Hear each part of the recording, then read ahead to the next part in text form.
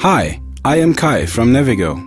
We would like to meet you at the GDC Europe or Gamescom 2011. Nevigo creates helpful tools for video game developers. Our mission is to make your life easier and to boost up your joy at work.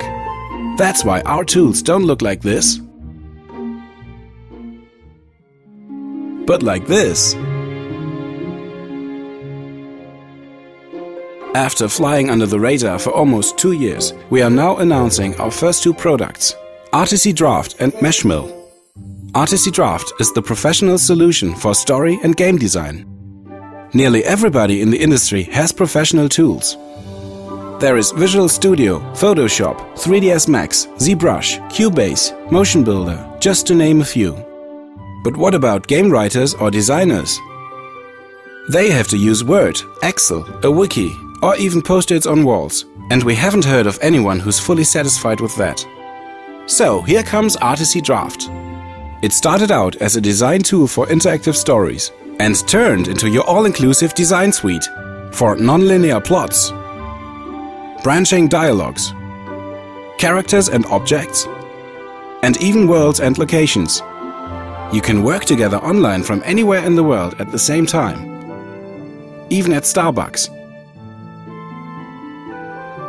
Plus, Articy Draft integrates into your Subversion or Perforce repository and exports your project data to your in-house technology via XML.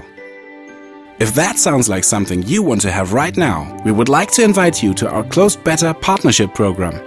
Go to nevigo.com slash beta for more information. And now for something completely different. Meshmill, the point cloud to mesh conversion suite. If you want to laser scan your actors, sets, props or whatever, just use Meshmill to process and triangulate your point clouds and get rid of chaotic meshing results. Meshmill renders massive point clouds in real time at 30 FPS and produces high quality meshes, even with textures. If you want to learn more about Articy Draft or Meshmill, get in touch with us now. We would love to hear about your use case and work out something that fits your demands. Email us at gdce2011 at nevigo.com or drop by at our GDC Europe booth number 133. And if you want us to keep you posted, subscribe at our website and like us on Facebook. Thank you and see you soon.